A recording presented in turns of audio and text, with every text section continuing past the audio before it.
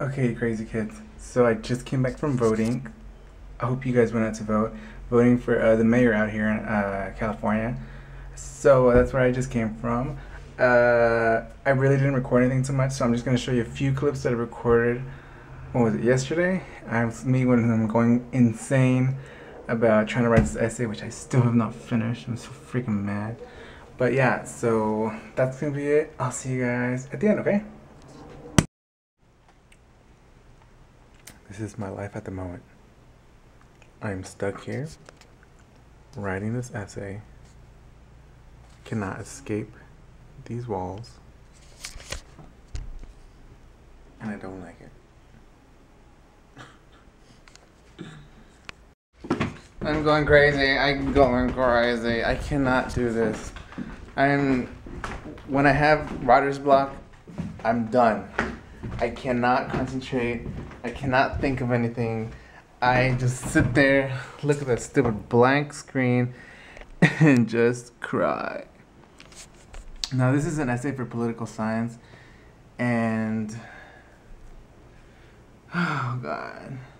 I just checked my grade online, and I'm passing the class, which is good. But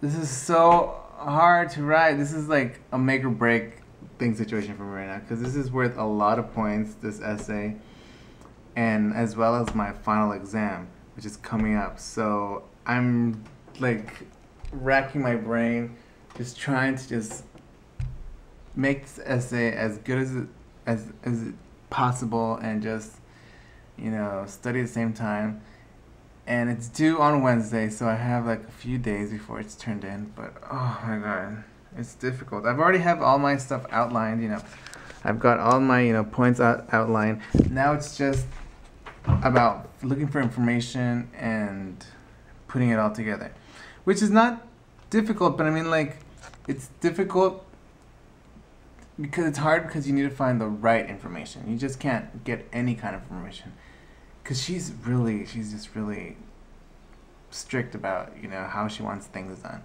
so i don't know how long i'm gonna be here i've been here since like sitting here since like 10.30 it's already gonna be 1 o'clock and i have to go to work later so i'm trying to get this done today get it over with and don't have to worry about it Cindy just went out Cindy just went out she went to go buy some food and some starbucks because i can't leave i'm not i don't want to leave because if i leave I'm not getting this done, and I don't have time to get this done tomorrow or Wednesday before it's due.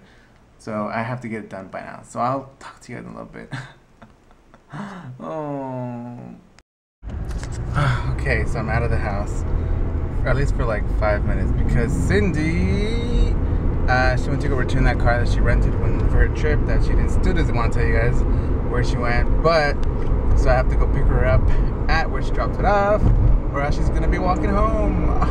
Which I would kind of personally, personally, I would find amusing, but she wouldn't.